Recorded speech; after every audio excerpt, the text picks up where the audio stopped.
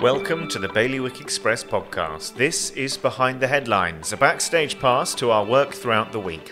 This week, we're dusting ourselves off after Storm Ciaran battered the Channel Islands. We talk about the damage wrought upon us, the action plan in place to protect us, and how the community pulled together during a particularly difficult night. Thank you for joining us. Talking about what we did over the last couple of days, talking about what the island dealt with, um, and talking about where we are now. So I'm Matthew Leach. In the corner over there, who was doing all the photography yesterday, is Oh, I'm to speak at this point. Yeah. Uh, yeah. Nick Mann. Laura Clayton. Kit Hannah. welcome. So, of course, we just had Storm Ciaran hit the island. Um, it wasn't quite as bad, I don't think, as it was as it was planned to be. Is that is that the case, Kit? Yeah, so um, the sort of first inklings of this came out on uh, Monday morning. Everyone woke up was like, "Oh, there's looks like there's a storm brewing and on the way, and it's barreling straight towards Europe."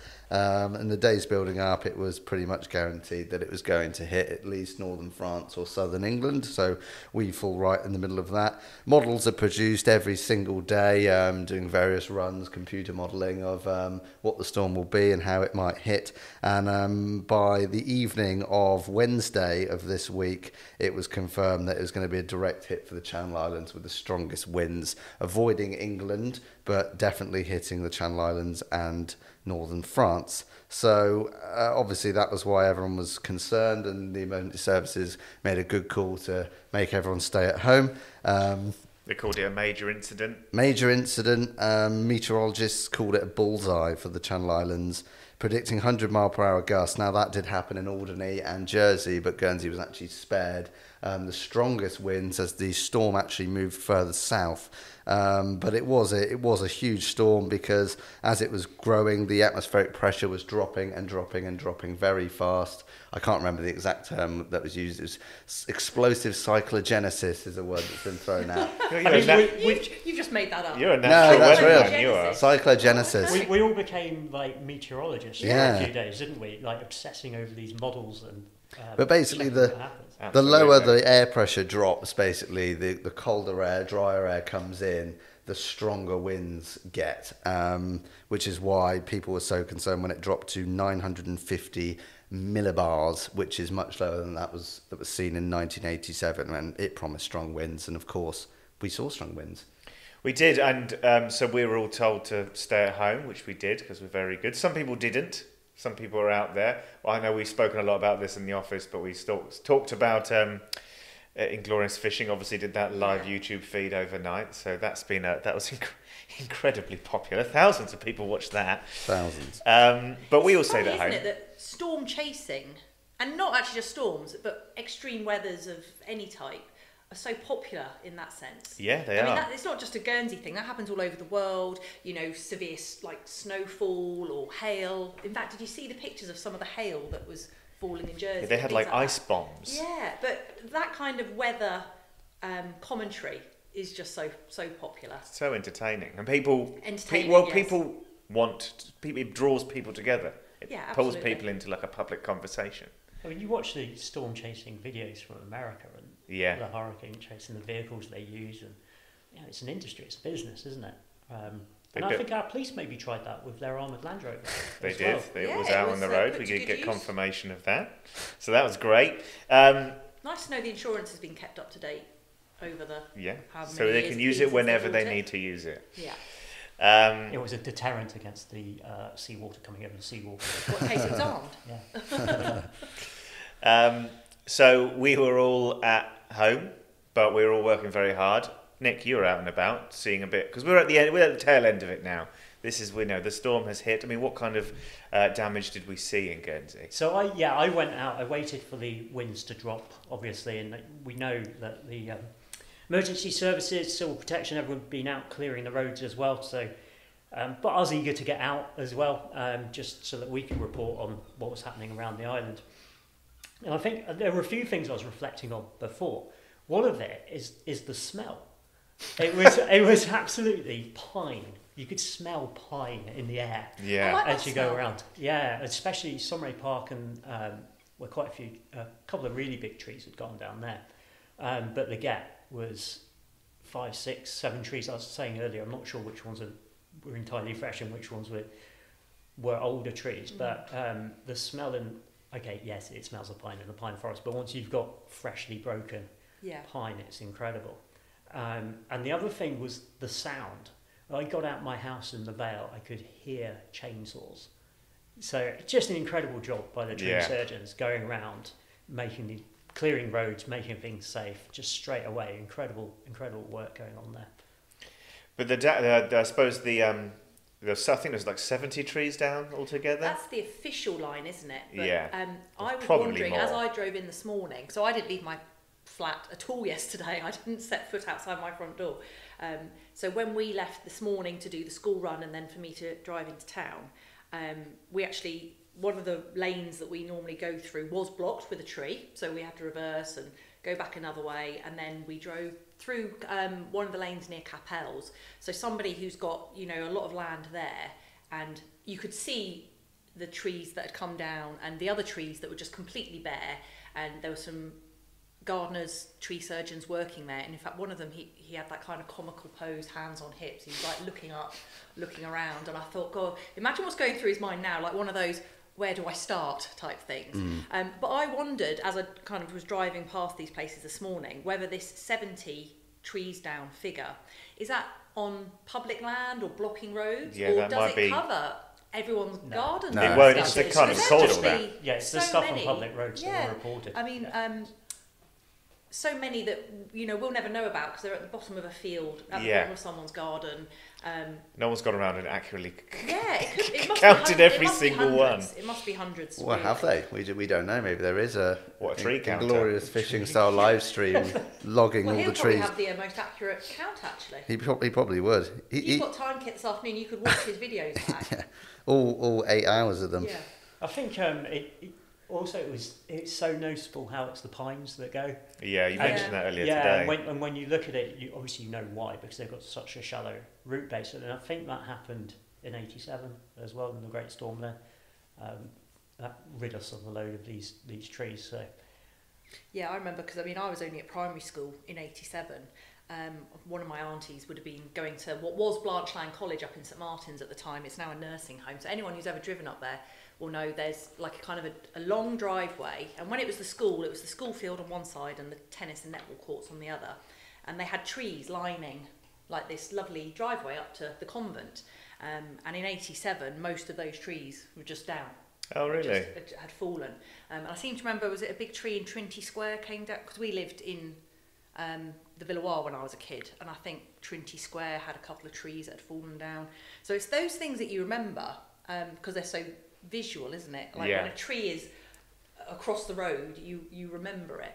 Um, but it's those other little things like I don't know the noises. I can remember on Wednesday night when I was sitting at home and the wind. You could hear the wind was building, and I could hear a few like cracking noises almost. And I don't know It's what not they what you want to hear no, but there's no, there's no. Luckily, I mean, oh, where I live near Delancey Park.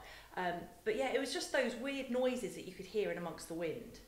Um, What- and that's something that I think I'll remember from this time. Those cracking sounds where I was like, "Ooh, what's Well, that?" there was definitely a, a, a fair amount of damage, but I think touch wood, nobody was hospitalised in Guernsey. They ran that as a No, statement, yeah. which was. I mean, we'll, t- we'll touch base on Jersey later on, but um, we we know we came out quite lucky for that, really. Definitely. I mean, especially when you consider there was damage at the hospital itself. Was it over the maternity unit? So over, Yeah, part of the roof. Over where Loveridge Ward is.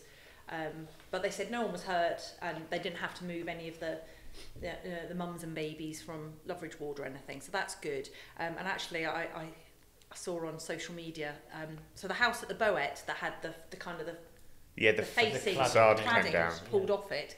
The guy that lives there is a builder, and he had to go to work at the hospital yesterday to patch up the hospital roof. Really? Um, while I guess the GHA were probably fixing his house, hopefully.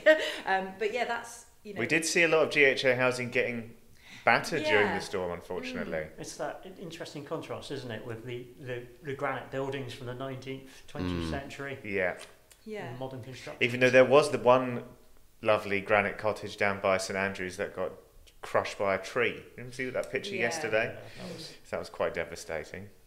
But again, like we said, no one hurt, which No, is exactly. So Well, I think that I think that like picture that. was actually from Jersey. Was it? Yeah, apparently so. Yeah. Oh, I was told that was a St Andrews. See, No, the, Well, I there think was- it's too this is one to of tell. the things we need to clarify when we come across Well, this is photographs over the, the course danger of of the day. social media, isn't it? Especially when people have got friends and colleagues across the Channel Islands. So photos and videos and anecdotes get shared. Yeah. And it's where did they actually happen? I mean, one property that um, people have been moved out of in Guernsey is at the Felcont, um, where there was a house that was having work done to it, and the scaffolding that's been around that house, some of it came loose, or some of the sheeting or something came loose, and landed on another house. So I think both of those properties have been evacuated, um, just while the scaffolding Yeah. is all tightened back up in the correct places.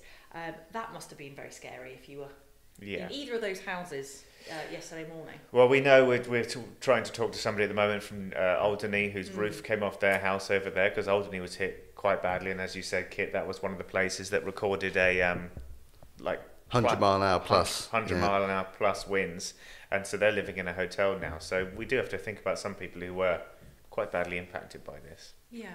And people were, even if not actually impacted when it happened, I saw on social media a lot of um, comments ahead of the storm and as it was building on Wednesday night. There was a lot of anxiety um, Yeah. and a lot of worry. And so there would have been a lot of relief, I'm hoping, yesterday when people were like, actually, we've not been too badly affected. But there was that real anxiety that you could kind of sense as the, as the storm was approaching. And quite sensibly, our states, a lot of things were closed down. Schools were closed down. Um, bus services were, were stopped for the day. Um, you know, we know that the ferries were stopped for the day. The airport was closed down. I mean, what has what have we got open now again? I know you're working on something this morning about the shipping. We should be um, pretty much back up and running with several things. Commodore Goodwill's already been in and gone um, to Jersey with freight. Um, Hopefully, loo roll as well. hopefully, No, loo roll. Yeah, loo roll bread, um, various other things have been low on the shelves. Um, but Why? Clippers coming Why in. have they been low on the shelves? exactly? Loads of Yeah. milk Um, though, because the dairy was open yesterday. Loads Yeah, of milk. we've been Um, told plenty about the dairy, so that's good. Clippers coming in this evening and also going to Jersey, and it looks like the sailings scheduled for tomorrow are going ahead as well. Fantastic. Um, flights are also resuming um, from this morning. We'll have to check that as we're recording this now. The first flights may have actually left. Um, Uh, he was meant to resume from ten, wasn't it? Yeah. So so we should we should be back up and running. Um, one business which won't be open today is the one at um, Nick. You went there yesterday to get photos, didn't you? At Lowlands Industrial Estate. Yeah, And I was CEF. sent some additional photos from there last night. Um, is it an electrical wholesalers um, at the Lowlands Industrial Estate that had some yeah, quite it looked like an entire roof yeah. had come off. Um, but you were t- talking about stats this morning about um, roofers sounding like they've got a lot of work on, yeah. which is great. Um, not great. great for business, not so great for those who are being worked on. Yes. Well, maybe not great if you were a customer that already had some work booked in, because presumably all the emergencies Yeah. Yeah. will shift everything else down the line. They're saying it's gonna- we know, the construction industry is Yeah, kind exactly. of working almost to capacity as it is. Yeah. Um, as you, you mentioned just before the airport, I've just checked. The mail plane arri- arrived, landed at 10:08. There we go. And There you go, we're back to normal then. To Alden, uh, from Alderney, due to arrive at five past 11. What about departures? The first flight to Southampton was airborne at 10:07. Great. So the we're back up and running. Is delayed. Oh, well. We'll That's, that's, a- that sounds like an we'll airport keep, thing. We'll keep Yeah. an eye on that. Um, bus services are back up. School buses are back up. The schools haven't all gone back. No. Um, who- we, we ran something briefly on that yesterday as well, and we did have an update this morning. So um, we had uh, all the schools were going back, but the, it was the College of FE campus. Was that right? The two There was two campuses. two campuses. Um, both of the College of Further Education sites received significant water damage as a result of pre-existing issues with the buildings, so are not open yet.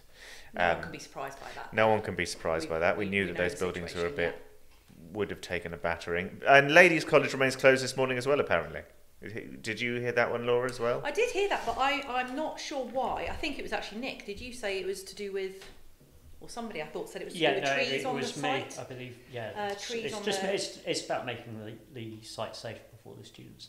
Good, That's Yeah. that. which is a good thing to do. Um, so we're kind of all getting back to normal again, and um, is anyone else got anything they want to touch on about the storm before we? Uh, I know Jersey got it incredibly badly. I mean, particularly badly, um, because we have our colleagues in Jersey who we talked to quite a lot, and um, I mean they had a. I mean, has it been officially confirmed that it was a tornado? I think um, the phrase used by Jersey Met this morning is torna- tornadic or tornadic feature. So I think we can probably Yeah, assume the it words was a you're coming out with. If, if- Yeah. if we can assume it was twisting winds. Twisting Yeah. winds. Okay. Twisting winds, Well, powerful that's called a enough to cause isn't destruction. Because, um, the Channel Islands can't Oh, yeah. officially have a hurricane, Yeah. but we can have hurricane strength winds. So would it be that? And I don't. It's to do with temperatures and. Yeah. I mean, the video is pretty. We're, we're all um, going back to our GCSE E geography now. Yeah, aren't we? yeah. Like trying to remember what's a hurricane and tornado. And Yeah.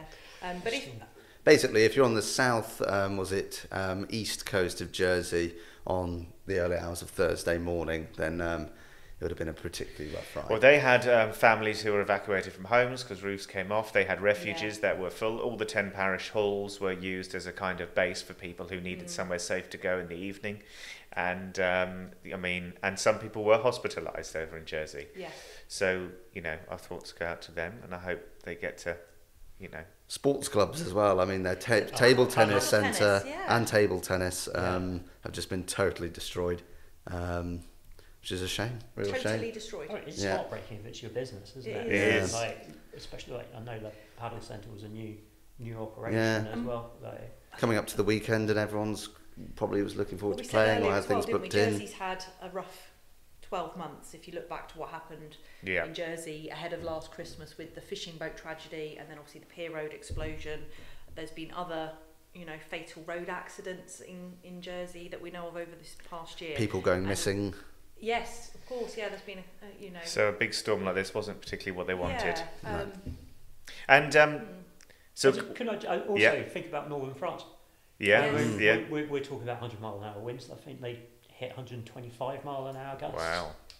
Um, slightly earlier in I think they had widespread electricity outages as well um, throughout much of Thursday in certain parts. So, whereas as far as we're concerned, I don't think any utilities went down. apart in- from your trip. apart switch. from my trip switch went, um, but the grid. The When grid you said was that, I thought, oh, the power's gone. Yeah. You- Why is the kit's power gone down? And it was a trip switch. Yeah, Yeah. just a trip switch. Um, and but it, it dissipated quite a lot before it hit the UK. It wasn't as It, it did, yeah. Yeah. So Cornwall, naturally, and Devon were hit very hard in the early hours of the morning. It did sweep up, and um, an amber warning was shifted from the whole of the south coast to sort of the Kent and Sussex area. I think some schools were shut as well. There was flooding. There were definitely trees down. It was a, it was a windy night for them, um, but um, fortunately, um, lots of the southern coast of England has scathed it, which is why we haven't really heard too much from the uh, UK broadcasters. I think what you, what you see now, though, is the effects that it's continuing to have in Europe. Mm. Um, some like extreme weather warnings in, in Greece, there's flooding in Italy, um, and, and people have died as a result of that. So Mm. I think, well, well, we're moving on. Um, there's It's- obviously some, some really bad things happening elsewhere. And there's of course another storm coming in that's um, going to hit uh, France and Spain, Portugal in the next few hours. Are we getting any of that in Saturday? Because I know there was another front coming along. I think this is the, the same front, but it's it's all just sort of moved south Right. Okay. um, and it's developed a bit. But um, Bay of Biscay, obviously famously windy, it's going to be um, pretty interesting over the next few days for anyone out on the water and anyone on the coast. I think the forecast has dropped, um, but we're definitely expecting it to be very wet and windy Yeah. here tomorrow. Um, one of the things that I've found useful over the last few days, because yeah, I, I did actually study GCSE E geography a long time ago, so I can't remember how all I these did, I, things did, work. I did a degree in it. Oh, so you should, be, you should Yeah, I should definitely be be, all over the this, expert yeah. for us. Um, but there's a lot of amateur weather enthusiasts. We said right at the very beginning, the Yes. interest in weather is huge. Um, and there's a lot of amateur weather um, forecasters, including the Guernsey Weather Enthusiasts, um, who've got a Facebook page. Um, so I was looking at a lot of their kind of content in the run up to and during the storm, um, which I found very useful. Um, it was almost or more explained in a way that I Yeah. could understand about the, the fronts moving in and the low pressure, and some of the uh, radar images that they've shared with the tracks for Storm Ciaran. Um, about how where it was projected to move and where it actually did move, which explains why Jersey and northern France were hit worse than us. So that was very interesting to follow. Absolutely, and the community all came together to give people uh, each other information and share Yeah. going on. And we clearly saw that people were very interested in the in the content that we were providing and the videos that we were sharing. So um, it shows that people really pull together at a at a time like this. Um, I just want to touch base quickly on we've talked about Jersey Alderney. Did anyone hear much from Sark? I mean, I saw a couple of videos of some greenhouses blowing away, and um, there was a video this morning of uh, one of the roofs. What, what's the place called? The, Can't, I can't remember exactly the place, but it's one of these sort of bed and breakfast, sort of log cabiny places Yeah. um, that I believe is The owned Coldridges by the place. Coldridges. Yeah. Yes, That's um, near the coupe, so Yeah. Yeah. exposed. very exposed. exposed. Um, I saw some pictures of definitely some trees down in Sark, I think in like the Dixcart Valley area. yeah, Um, and in Herm, I think there's superficial damage. I think from Herm they said no one injured, you know, no one Yeah. had to be moved out of their home or anything, but lots of uh, because on the day there was medivacs were were not going to be able to be run Yeah. uh, because they couldn't fly. So um, well, it's, we got we got off lucky, but it's um, you know it's tough for those who've suffered some damage. But um, at least we got a dry spell today for some more clear exactly, up it's to go gorgeous ahead. cycling in today.